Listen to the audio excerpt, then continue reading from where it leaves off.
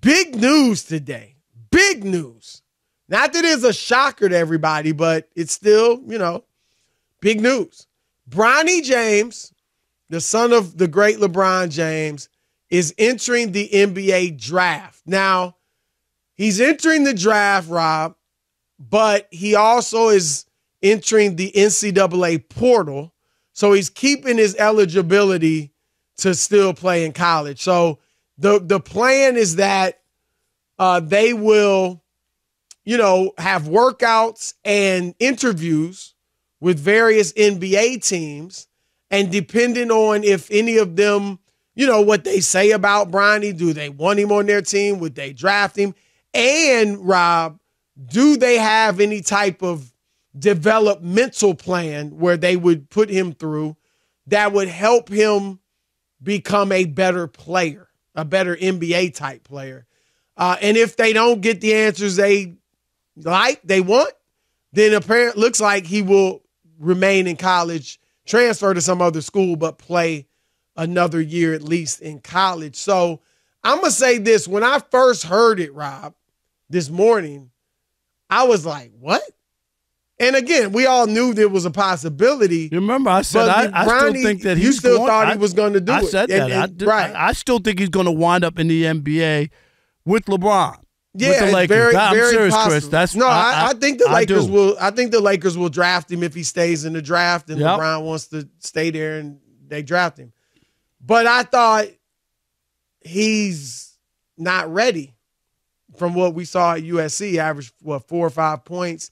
Didn't start. The team wasn't very good, and I thought I know LeBron's got the pull to get him in, but I don't. I'm not sure this is best for Bronny. But you know what? I'm but gonna, when I looked at the further plan, as I just explained, like he's still he's just gonna see are our teams willing to develop him, and could he improve more in the NBA with a team working with him than he could in college? You're gonna at least look at it and be interviewed and see what teams think. Then I started to feel better about it. So I look LeBron and his you know, his guys, Rich Paul, Maverick Carter, Randy Mims, they've been very smart about uh, the things throughout LeBron's career, obviously. And to me now, Rob, this is another smart move. If he declares, I mean, I guess that would mean a team is willing to really work with him and see if he can improve. But um, I think it's a good move because it it gives you options. And um, I, I, I like it more when I heard the full plan. I, I, I think it's.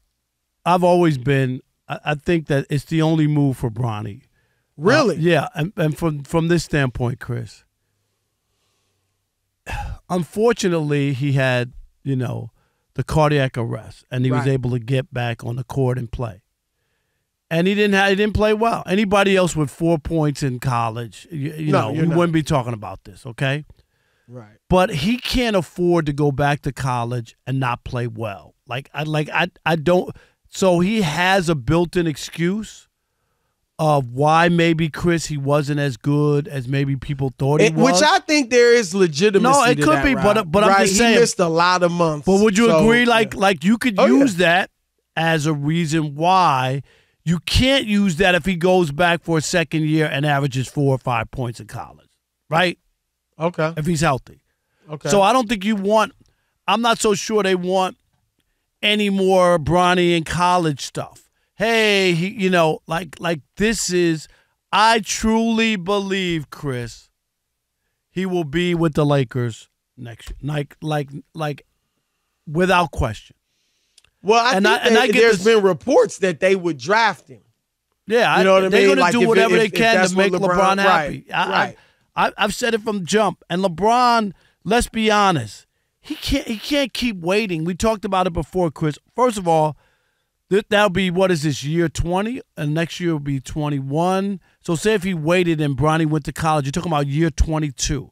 There's also a chance that at his age something could happen. He could get oh, hurt, Oh, of course. and then and then he never even gets that chance because Bronny went back went to college for another year, and then LeBron gets hurt, and then he's going to miss a year. I'm just saying, speculating. The like, only only you thing know- I disagree with there, I don't think the priority should be that LeBron and Bronny play. No. I agree. I agree You know, with I that. think it should I be what's best for Bronny. I And you agree. you make a good point.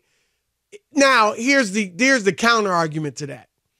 If he goes back next year and doesn't play well, say averages nine points, you know, he's okay. He starts, you know, on a mediocre team. He's fine, but not certainly not looking like an NBA prospect. right. LeBron, now you're right. I guess if LeBron got hurt, but you would think LeBron, and of course he's combined with Rich Paul, who's one of the most powerful agents in the league. They still could probably get Bronny drafted. Yeah, I'm, Would you I'm- agree with that? I'm not saying that it's impossible, but the scrutiny, and then it would be like, oh, he's a charity case. He Well, that's going to be there. You don't Nah, think that's but- to be there this, this no, year? because I think he has the, the what you said. Some of it is legit about him being, uh, you know, the the cardiac arrest and missing time. Like you could use But that. it wasn't. He wasn't a definite I, I know NBA I- prospect. I, like get you. you. know what I mean? Any, I see. But, I but a I second think, bad year or subpar No, I- year, then it's I all agree. like- it would it would make it look worse. There's right, no doubt. That's all. There's that's all no saying. doubt. It would look like, oh wow, okay, this is Right. just they're just But- doing this for LeBron for LeBron, and he's not even he shouldn't even be in the league. Like But that. see, I do think that that there's going to be some sentiment of that anyway. Oh, yeah. Like No. let's say you're right. He goes to the Lakers this year.